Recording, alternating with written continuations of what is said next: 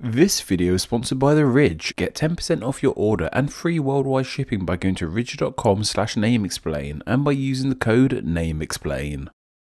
Here we have a nation with an iconic shape, a seriously rich history, and a beloved culture. If you mention this country to pretty much anyone on the planet, they'll be able to reference something about it. From the Romans to Da Vinci to pizza and pasta. This seems to be a nation that everyone knows and will be able to say its name, with that name of course being Italy. Everyone knows that this country is called Italy, who is going to argue with that? Well, hello there. I'm here to burst that bubble for you all. Yes, despite the fact that everyone knows this country is Italy, it isn't really called Italy. And while I'm focused on just poor old Italy here, many countries around the world aren't really called what we call them. Well, okay, they kind of are called what you think they're called. Thanks for falling for my clickbait. You're here now, so why not stick around and see what I'm going to rap on about this time. Names like Italy, France, Germany, Brazil, China, Kenya, and pretty much every other country name you can think of aren't their official names, but rather their short names, as most countries actually have two names, their official name and their short name. So let's go back to Italy. This name of Italy is the country's short name. So what is Italy's actual name? Is it something completely different? Is the country secretly still called Rome due to some old law that never got changed? Well,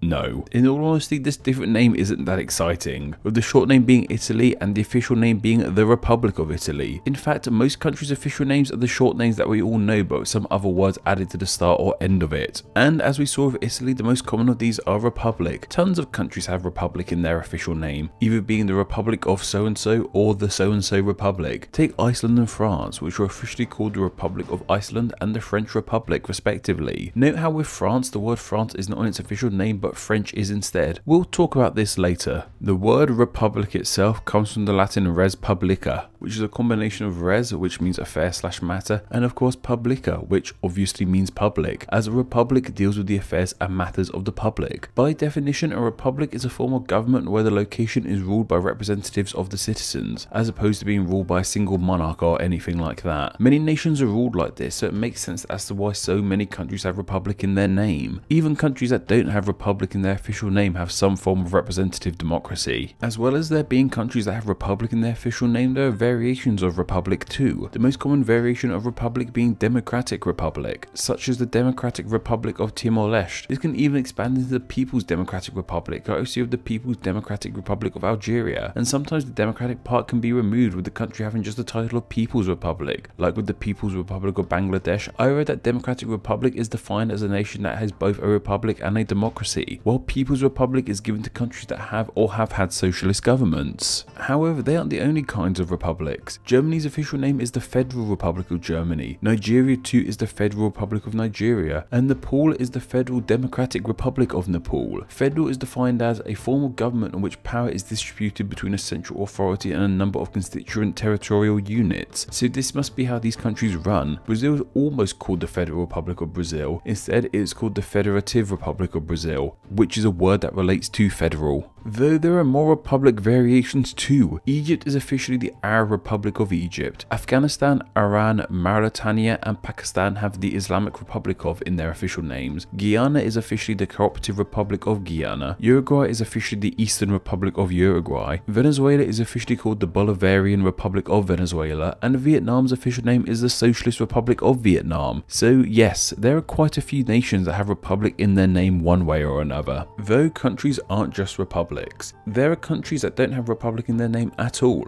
Another popular one is kingdom, like how Belgium is officially called the Kingdom of Belgium, and how Saudi Arabia is officially called the Kingdom of Saudi Arabia. And of course, kingdom means a country is ruled over by a king or queen. Even if nations have kingdom in their official name, they aren't really ruled over a monarch in this literal way. It's more a traditional thing. After a quick Google, it seems that even though Belgium have a king, it doesn't seem he has complete control over the country. In the same way, the Queen doesn't have much actual power here in the UK. The country of Jordan takes this a step further as their official name is the Hashemite Kingdom of Jordan, with this name signalling out the royal family's name of Jordan, the Hashemites. Kind of like a kingdom is a sultanate, which is the name of somewhere ruled over by a sultan, and the only nation on earth we have with sultanate in its official name is the Sultanate of Oman. Kind of like a kingdom is a principality, which is a state that is ruled by a crown prince. There are only two of these left on our planet, these Andorra and Monaco, which are officially called the Principality of Andorra and the Principality Principality of Monaco respectively, and also on our planet we have a single country that is a Grand Duchy, which is a land ruled over by a Grand Duke or Duchess, with this being the Grand Duchy of Luxembourg, whose current monarch is Henry, Grand Duke of Luxembourg. The Commonwealth is a collection of countries that tie back to the British Empire, so needless to say that many of the countries in the Commonwealth were once part of the British Empire, and of course the UK themselves were part of that empire. However, even though many countries are part of the Commonwealth, only three have Commonwealth in their official name, those being the Commonwealth of the Bahamas, the Commonwealth of Dominica, and the Commonwealth of Australia. Why just these three have Commonwealth in their name, I don't know. At least Australia decided to show a flicker of creativity with their naming this time. And while I've mentioned the United Kingdom before and it could be seen as a kingdom country, I'm putting it in a different category of United countries, along with the United States of America and the United Arab Emirates. It's interesting that most nations with United in their name are usually shortened to abbreviations, like how these three countries are commonly known as the UK, USA and UEA. However, one that doesn't get this treatment is Mexico, as its full official name isn't the Republic of Mexico or anything like that, but rather its official name is the United Mexican States. I wonder why this country didn't become more commonly known as the UMS as opposed to Mexico. I imagine it's because Mexico as a name has a long legacy and history behind it. Many countries simply have stated their official name, such as the state of Kuwait, the state of Libya, and the state of Qatar. Two countries have independent state in their official name, these being the independent state of Papua New Guinea and the independent state of Samoa. Bolivia however is officially the plurinational state of Bolivia. This word means a state containing a large variety of people of different nationalities. And finally we have Switzerland, whose official name is the Swiss Confederation, with Confederation being defined as an organization of different groups of people working together for business or political reasons. However, you may have noticed that's not always the actual short name of the country that appears in its official name, like we just saw Switzerland and the Swiss Confederation. We also mentioned this with France actually being called the French Republic, and Mexico actually being called the United Mexican States. This just seems to be a quirk that some countries favour instead, using the adjective form of their name as opposed to using the nouns they have. This also includes Argentina, which is officially called the Argentine Republic, Czechia, which is officially called the Czech Republic, Gabon, which is officially called the Gabonese Republic,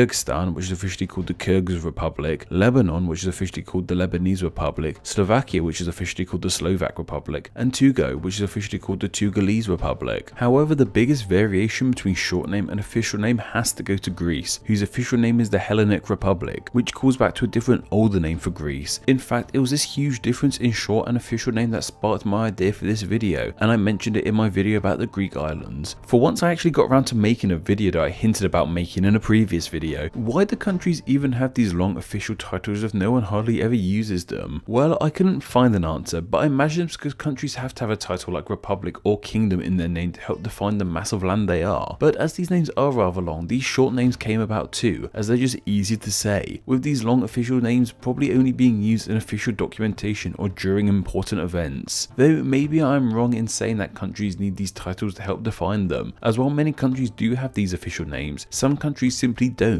Their official name and short name are one and the same. In example, Japan is simply called Japan, New Zealand is simply called New Zealand, Canada is simply called Canada, and while the country is known as the Republic of Ireland to help differentiate it from Northern Ireland, according to the UN, its official name and short name is just Ireland. And while these countries may not have these official long names, some countries don't even have official short names. I presume that UK and USA were the short names for the United Kingdom and the United States of America, but no, these names aren't actually official despite how commonly you hear them being used. And while the Republic of the Congo has the official short name of just Congo, the Democratic Republic of Congo has no short name. I guess to help stop confusion. If someone just refers to a nation as Congo, we can presume they're talking about the Republic, not the Democratic Republic. And of course, for the longest time, the Czech Republic had no short name. Finally, how have they got a short name in recent years with it Czechia? So while I started out saying how Italy isn't really called Italy, it kind of is and isn't at the same time. In all honesty, I just find it super interesting how all these countries we think we know the names of have these secret long names too that you may or may not have known about. Some pretty simple ones like with Italy and the Republic of Italy, and some that are seriously different like Greece and the Hellenic Republic. There will be a link to all these official names of countries down in the description, so why not check it out and see what your country is officially called and let me know down in the comments. Now I must say thank you once again for sticking around despite the horrendously clickbaity title of this video. I guess this video would have the official title of the official names of countries explained, but as we stated in this video, official names are kind of a mouthful, so let's stick with smaller, catchier names. Official country names were suggested by Joshua L. Andrews, and thanks to their suggestion, they will now be honoured as Name Explain's patron saint of official country names. Do you have a good idea for somewhere that's name could be covered in a Name Explain video? If so, then please consider donating on Patreon. Just $1 a month helps keep the channel running and earns you a weekly chance to suggest somewhere to be turned into a video, and you too could be a Name Explain Patreon saint.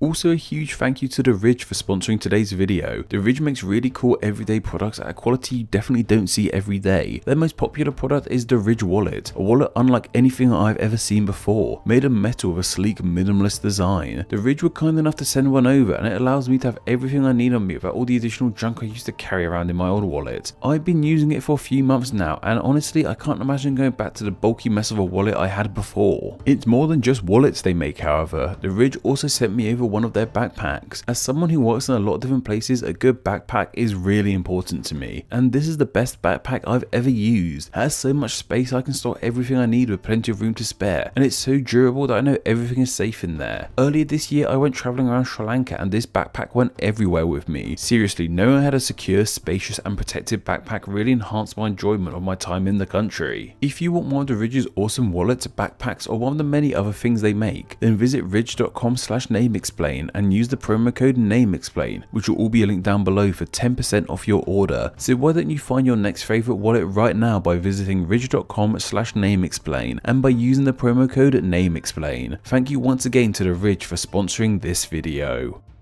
Thank you to all my patrons who support Name Explain on a monthly basis. Name Explain depends on small monthly donations from fans like you to help keep the channel running. Just a small amount of $2 a month helps in a huge way, grants you patron exclusive Name Explain extras, and gets your name here with all these awesome people. Thank you. Hello all and thank you so much for reaching the end of this video. Stick around and check out another video and subscribe to up to date on all things Name Explain. You can follow myself on Twitter at NameExplainYT. Follow me there and tweet the name Pablo at me so I know you came from this message. Anyway, I hope you enjoyed this video and once again thank you all so much.